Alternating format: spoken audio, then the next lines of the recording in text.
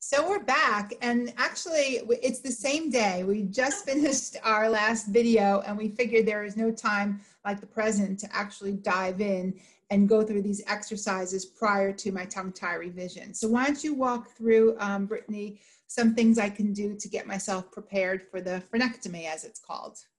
Yes. So the first thing that I want to make sure that you're able to do, um, you know, as a myofunctional therapist, and we might be coming up closer to the camera a little bit right. so that we can see each other a little better. But I want to make sure that you um, that you a know where the spot is, where I want um, the tip of your tongue to be resting, and that you're able to maintain it there. Well, we're going to try to maintain it there for 60 seconds. So okay. what I'm going to have you do is you're going to take your tongue, pretend this is your tongue, and you're mm-hmm. going to hit the spot for me. Mm-hmm. I want you to tap the spot 10 times and then you would hold it there. Good. And we would hold it there for 60 seconds. Okay. The next one I would take you through is seeing if you can achieve um, a skinny tongue. So making sure that the lateral borders of your tongue or the sides of your tongue are able to kind of squeeze in and get narrow.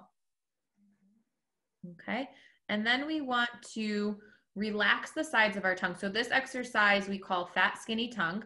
So you would go from skinny tongue to fat tongue, skinny tongue to fat tongue. Now, I don't want you to move your tongue on a plane. So you're not moving your tongue in and out. Your tongue is pretty much staying stable, and we're just um, relaxing it and pointing it again. So let me show you. So this is one that we would take a little more time to work on over the yep. next week.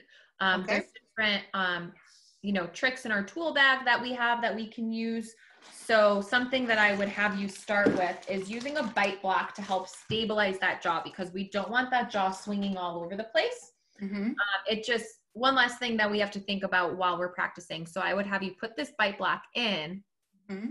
bite, on, bite on it. That way, again, it helps stabilize the jaw, and then you can focus more on just the you know the tip of the tongue. And then what i would do next i would actually want you to work on achieving that first before we moved into what we call uh, mandibular differentiation exercises and making sure that you're able to move all these components separately. So you're able to move you know your tongue without your jaw moving. But first i need you to be able to achieve that nice tight skinny tongue okay. um, and then that would be what we would follow up with in our next session. Sounds good okay well i'm glad we got started and um, I'll be seeing you for yes, sure. Absolutely. okay. Thanks, Brittny. Thank you so much.